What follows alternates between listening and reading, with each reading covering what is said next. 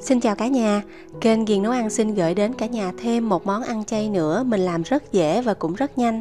Đó là món mì căng phá lấu. Để làm món này cả nhà cần chuẩn bị là nửa ký mì căng ống. Em sẽ ướp mì căng với một muỗng ăn canh nước tương. Một muỗng ăn canh hạt nêm chay. Nửa muỗng ăn canh bột gia vị xá xíu. Nửa muỗng cà phê ớt bột. Và nửa muỗng ăn canh đường. Em sẽ ướp mì căng trong vòng 15 phút để mì căng được thấm gia vị.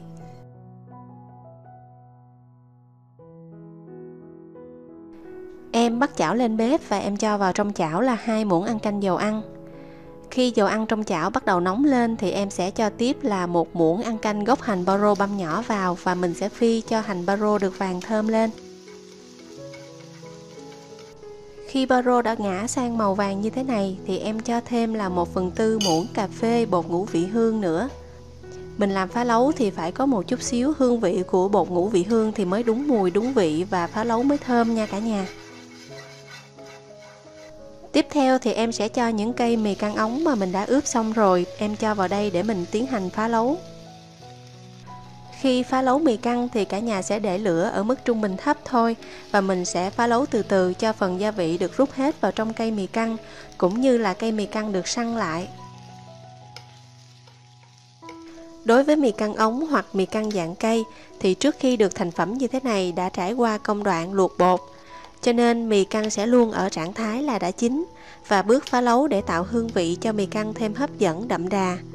Vì thế mà thời gian để phá lấu mì căng cũng khá nhanh Cả nhà chỉ cần phá lấu trên bếp như thế này từ 10 cho đến 15 phút là được.